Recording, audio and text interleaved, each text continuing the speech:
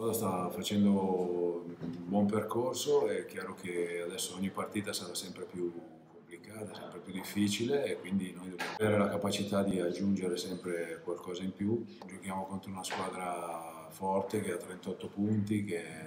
domenica ha vinto 4-1 e quindi dovremo fare una prestazione di alto livello per cercare di fare il risultato e nelle nostre possibilità farlo dobbiamo cercare di metterci tutto il possibile per, per riuscire a, fare il risultato. Hanno una rosa molto competitiva, omogenea, perché oltre ai giovani comunque sono rimasti dei giocatori di, di alto livello. Mi riferisco per esempio anche a Buzzegoli, mi riferisco a Gonzales, che sono,